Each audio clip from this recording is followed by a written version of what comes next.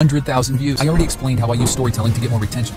Now it's If you observe his voice closely, you'll notice that it doesn't sound like a regular generated AI voice. Instead, there is something different about it. His voice is unique, that's why he didn't face any monetization issues, and it sounds ultra realistic. He obviously achieved that by editing it, and most importantly, his voice has emotions, something that AI typically lacks. So how to actually generate AI voice like his? Well, it's very easy. Just give me three minutes of your life and I'll teach you step by step how to do it. The first step is to get a unique AI voice. To generate a unique AI voice, you need to create a custom voice. Head over to 11 Labs and generate a custom voice from the Voice Lab tab. You can copy the settings, these are the same settings he used to create his voice. As for the accent strength, set it between 60 and 65. In the first few tries, you might not get the results you are looking for, so keep trying until you get your dream voice. After this, Add your script here and select the recently generated voice. But before you click generate, go to the settings and make some changes. Increase stability, similarity, and style exaggeration a little bit, or just try what suits your custom voice tone best. After this, click generate speech.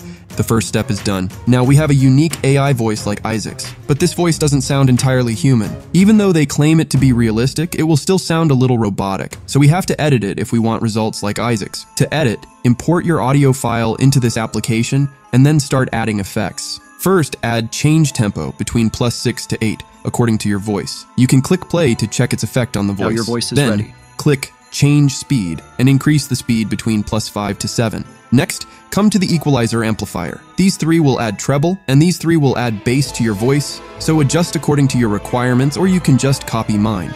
Click apply and then click compressor. Keep the threshold between minus 20 to 25, then click apply.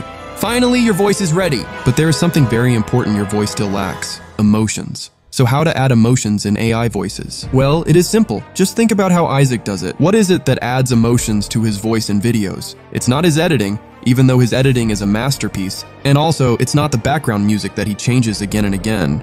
Even though all of these factors matter, there is still something very important that you are ignoring, and that is his engaging scripts. This is also the secret of his success on YouTube, even though he uses an AI voice. So if you want to add emotions, focus on creating engaging scripts because they will help you connect with your viewers. Consider the AI voice as a medium between you and your viewers, and through scripting, you're talking to them. That's it. However, if you want AI to help you with this, do the following when you add your scripts on 11 Labs. Add commas, full stops, exclamatory signs, and question marks to make the AI voice take pauses and exaggerate words and sentences as required. If you follow all of my key points, you'll be able to create a unique, ultra-realistic human-like AI voice like Isaac that is 100% monetizable. It will work as long as your content is original. Okay, that's it for today's video. Do let me know your feedback. Like this video if you think it helped you even a tiny bit. This motivates me to create more. Best of luck to all of you on your YouTube journey.